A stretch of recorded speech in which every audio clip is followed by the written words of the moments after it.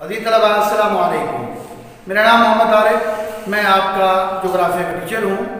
आज हमारे सबक का जो उन्वान है, ज़मीन के अंदरूनी साख और जो हमने आज सवाल पढ़ना है, वो है आतिश फिशान के इकसाम और उसकी तकसीम।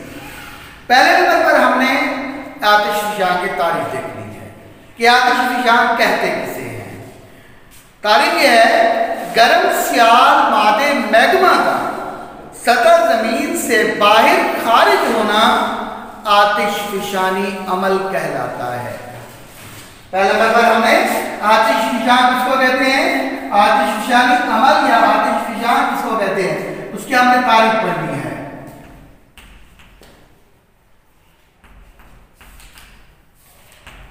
आतिश फिशानी अमल या आतिश फिशान इसकी तारीफ़ है गरम सियाल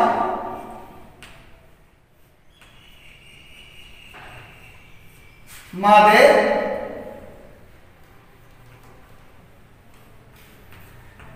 मैग्मा का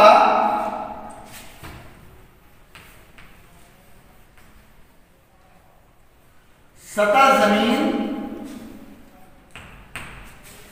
सतह ज़मीन से बाहर खारिज होना।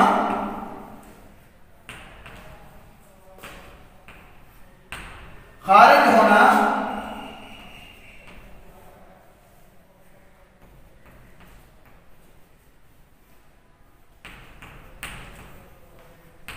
आतिश फिशानी अमल कहलाता है।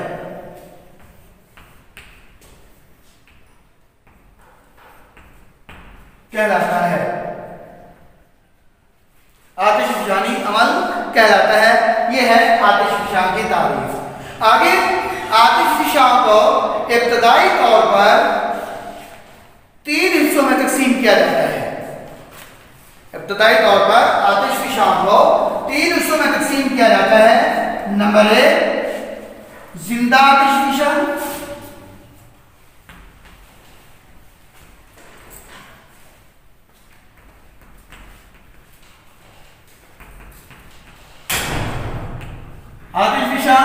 नंबर दो खुफ्ता आतिश फिशान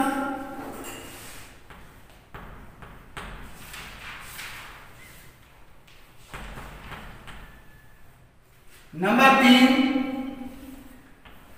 मुर्दा आतिश फिशान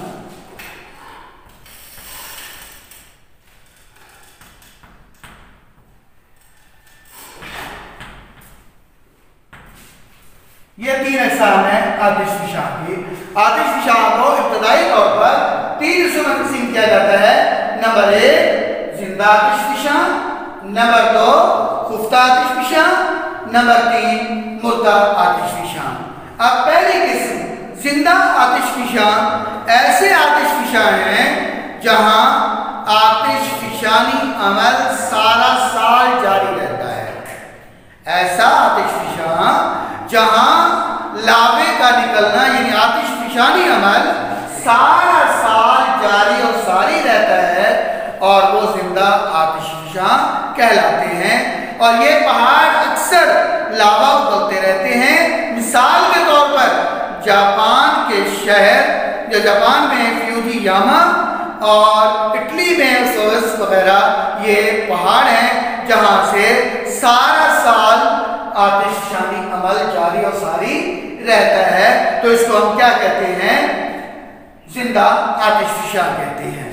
और आतिशफिशा की दूसरी किस्म, खुफ्ता आतिशफिशा यानी इस किस्म से ऐसे किस्म के पहाड़ जहाँ से अरसा दराज से आतिशफिशानी अमल हुए अरसा गुजर चुका हो और फ़िलहाल बंद हो, लेकिन दोबारा उससे किसी वक्त भी आतिशफिशानी अमल मकबूल पजीर होने का खदशा या खतरा मौजूद हो उसको खुफ्ता आतिशफिशा कहा जाता है।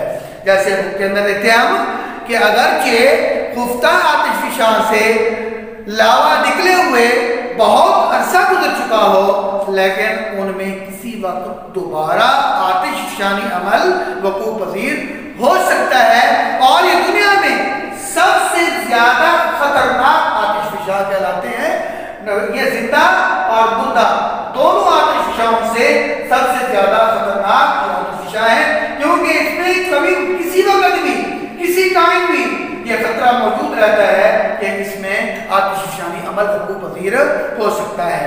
फिर इसमें तीसरी किस्म जो है, वो है मुर्दा आतिशफिशा अब मुर्दा आतिशफिशा कौन से आतिशफिशा ऐसे आतिशफिशा जिनसे लावा निकले हुए निकलना या असर हो चुका हो या निकलना बंद हो चुका हो और मुस्तकबिल में या आइंदा जमाने में कभी भी से आछी मादा निकलने का खतरा मौजूद या कोई आसार मौजूद ना हो, ये मुद्दा आतिशफिशा कहलाते हैं।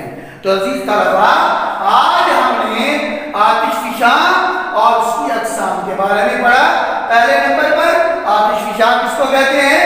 गर्म, सियाल मादे मैगमा का सदा ज़मीन से खारिज होना ये आतिशफिशानी अमल कहलाता है और आतिशफिशा को उन्होंने इब्तदाई तौर पर तीन हिस्सों में तकसीम किया है नंबर एक ज़िंदा आतिशफिशा नंबर दो खुफ्ता आतिशफिशा नंबर तीन मुर्दा आतिशफिशा ज़िंदा आतिशफिशा ऐसा आतिशफिशा जहाँ आतिशफिशानी अमल सारा साल जारी और सारी रहे इसको हम क्या कहते हैं ज़िंदा आतिशफिशा जैसे मिसाल के तौर पर जापान फियोतियामा और इटली में मुसवस वगैरह और सेकेंड खुफ्ता आतिशफिशा ये ऐसा आतिशफिशा है जिसमें आतिशफिशानी अमल वकू पजीर हुए या वकू पजीर होना बंद हो चुका हो, लेकिन साथ ये भी खतरा हो कि इससे दोबारा किसी टाइम किसी वक्त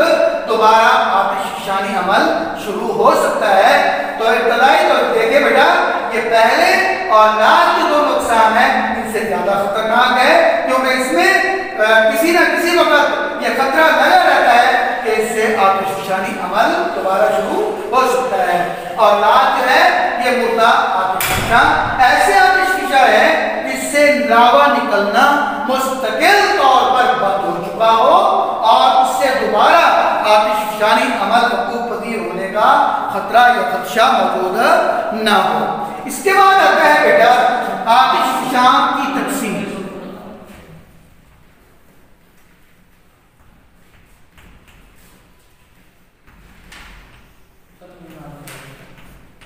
आतिशफिशा की तकसीम। अब ये कैसे होगी तकसीम? आतिशफिशानी अमल की तकसीम। दुनिया में आतिशफिशान ज़मीन की प्लेटों की दराड़े पर दराड़ों पर मौजूद है।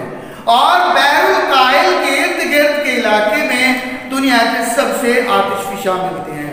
अभी तलबा कहाँ से मिलते हैं? बहरुल काहिल के इर्द गिर्द इलाके में दुनिया के सबसे ज़्यादा आतिशफिशा मिलते हैं।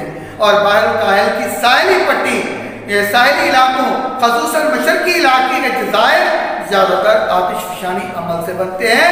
इस इलाके को आतिशी दायरा, यानी रिंग ऑफ़ फायर कह भी कहते हैं। जैसे ट्रांसक्यूरेशन का इलाका दूसरा अहम इलाका है, जहाँ आतिशफिशा पहाड़ मौजूद हैं। इसमें ऑस्ट्रेलियन प्लेट, यूरेशियन प्लेट की प्लेट के दरमियान का इलाका शामिल है। और आतिशफिशा का तीसरा अहम इलाका समुद्रों के दरमियान का इलाका है। ये बहरे उकियानूस और बहर हिंद के दरमियान मौजूद है। ये पहाड़ी इलाका आतिशफिशानी अमल से वजूद में आया है और उसे इससे वस्ती बहरे उकियानूस का पहाड़ी सिलसिला भी कहा जाता है। तो बेटा ये आज का हमारा टॉपिक था आतिशान और आतिशफिशानी अकसाम और उसकी तकसीम आज हमने पढ़ा।